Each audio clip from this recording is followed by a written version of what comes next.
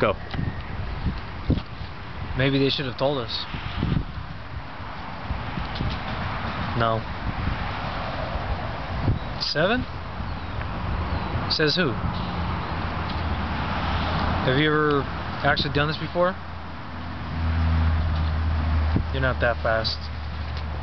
And you talk too much. I'll take your advice into consideration after one of us is dead.